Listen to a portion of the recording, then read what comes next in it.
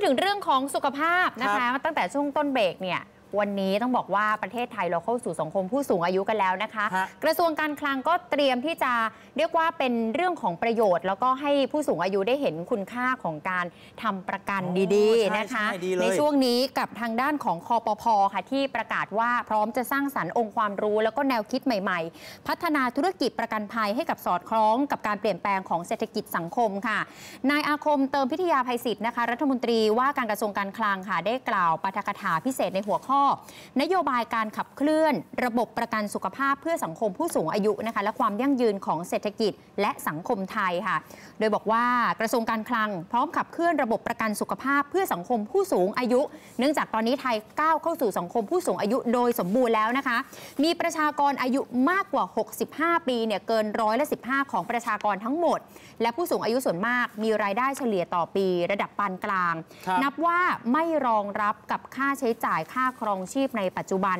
โดยเฉพาะอย่างยิ่งเลยก็คือเรื่องของสุขภาพนะคะ นับว่ามีสัดส่วนเพิ่มขึ้นอย่างมาก เพราะว่าแน่นอนนะคะ อายุเยอะขึ้น ความเสื่อมสภาพของร่างกายก็มากขึ้น โดยเฉพาะโดยเฉพาะโรคไม่ติดต่อเรื้อรังก็คือ ความดันโลหิตสูงนะคะเบาหวานมะเร็งหลอดเลือดต่างๆ เหล่านี้ก็จะตามมา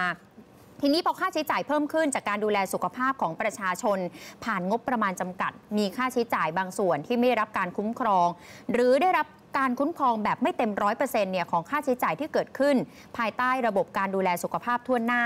ส่งผลให้ประชาชนค่ะต้องการประกันสุขภาพ เรียกว่าเป็นแบบภาคสมัครใจเพิ่มเติมนะคะ ให้สอดคล้องกับประเทศอื่น ๆ ที่มีการขยายตัวของประกันภัยสุขภาพภาคสมัครใจค่ะ เนื่องจากว่าการประกันภัยเนี่ยสามารถช่วยรองรับการบริหารจัดการด้านสุขภาพให้มีประสิทธิภาพ แล้วก็ครอบคลุมมากยิ่งขึ้นด้วย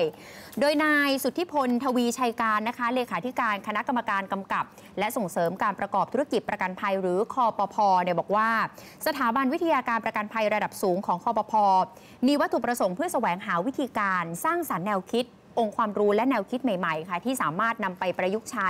ในองค์กรและการดำเนินธุรกิจ รวมทั้งการบริหารความเสี่ยง นวัตกรรมประกันภัยแบบใหม่ การบริหารจัดการองค์กรผ่านการอภิปราย การแลกเปลี่ยนความคิดเห็นนะคะ การวิเคราะห์เชิงวิพากษ์และการเสนอข้อคิดเห็น ในเชิงสร้างสรรค์ระหว่างผู้เข้ารับการศึกษาอบรม รวมทั้งให้ผู้เข้ารับการศึกษาอบรมเนี่ยสามารถรวบรวมแนวคิด ทั้งเรื่องของการบริหารธุรกิจ การบริหารรัฐกิจ เทคโนโลยี การบริหารความเสี่ยง และการประกันภัยให้สอดคล้องกับการเปลี่ยนแปลงของเศรษฐกิจและสังคมนั่นเองค่ะ